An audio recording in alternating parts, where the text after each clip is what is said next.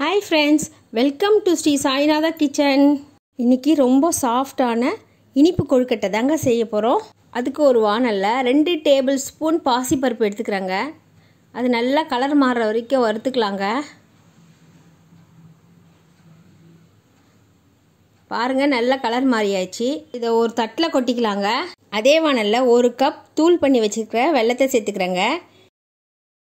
இது கூடவே ஒன்றே கால் கப் தண்ணி சேர்த்துக்கிறேங்க. வெள்ளம் நல்லா கரையிற வரைக்கும் கலந்து விட்டுக்கலாங்க.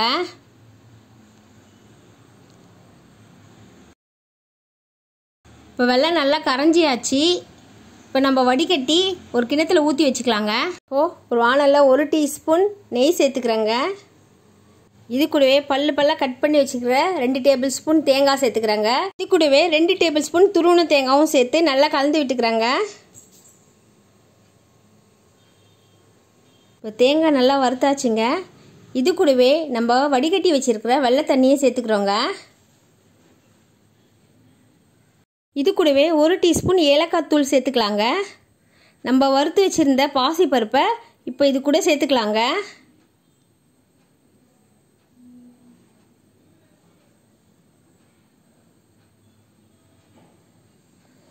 இப்போ தண்ணி நல்லா கொதிக்குது. ஒரு கப் அரிசி மாவு சேர்த்துக்கிறேங்க. அடுப்பை சிம்மில் வச்சுட்டு நம்ம கிளறி விட்டுக்கலாங்க. நீங்கள் கடையில் வாங்குகிற இடியாப்பா மாவோ இல்லை கொழுக்கட்டை மாவோ செய்யலாம். இல்லைனா வீட்டில் பச்சரிசி மாவு இருந்ததுன்னா ஆவியில் வேக வச்சு நம்ம ஜெலிச்சு வச்சுக்கலாம். நான் ஆவியில் வேக வச்சு ஜெலிச்சு வச்சுக்கிற மாவை தாங்க சேர்த்துக்கிறேன்.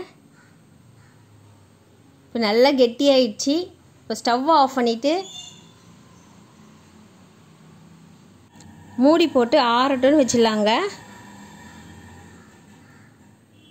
பாருங்க நல்லா ஆறிடுச்சு. இப்போது நம்ம கையில் கொஞ்சமாக நெய் தடவிட்டு நல்லா பசஞ்சிக்கலாங்க.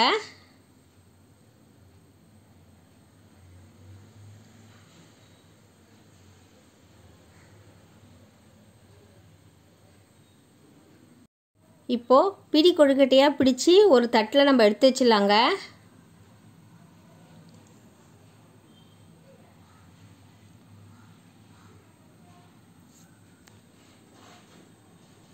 இதே மாதிரி எல்லா மாவையும் நம்ம கொழுக்கட்டையை பிடிச்சி வச்சிடலாங்க. பாருங்கள் நான் எல்லா மாவையும் கொழுக்கட்டை பிடிச்சி வச்சிட்டேன். இட்லி பாத்திரத்தில் தண்ணி ஊற்றி அடுப்பில் வச்சுருக்காங்க. அதுக்குள்ளே இட்லி தட்டில் நெய் தடவிக்கிறேங்க. இப்போ நம்ம பிடிச்சி வச்சுருக்கிற கொழுக்கட்டையெல்லாம் சேர்த்துடலாங்க.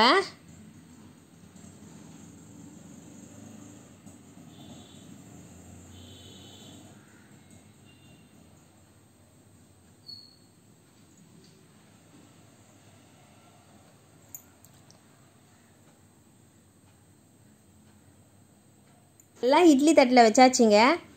இப்போது இதை இட்லி பாத்திரத்தில் வச்சு மூடி போட்டு ஒரு பத்து நிமிஷம் வேகட்டும்னு இருக்கட்டுங்க பத்து நிமிஷம் ஆயிடுச்சுங்க. மூடி ஓப்பன் பண்ணிக்கலாம். கொழுக்கட்டெல்லாம் நல்லா வெந்திருக்குங்க. ஆறட்டுன்னு தட்டில் எடுத்துக்கலாங்க.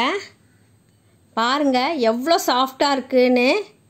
இந்த ஸ்வீட் கொழுக்கட்டையை நீங்கள் வீட்டில் ட்ரை பண்ணி பார்த்துட்டு எப்படி இருக்குன்னு கமெண்ட் செக்ஷனில் சொல்லுங்கள் நம்ம வீடியோ பிடிச்சிருந்தா லைக் பண்ணுங்கள் ஷேர் பண்ணுங்கள் சப்ஸ்கிரைப் பண்ணிவிடுங்க பக்கத்தில் இருக்க பெல் ஐக்கானை கிளிக் பண்ணிக்கிங்க. தேங்க்ஸ் ஃபார் வாட்சிங்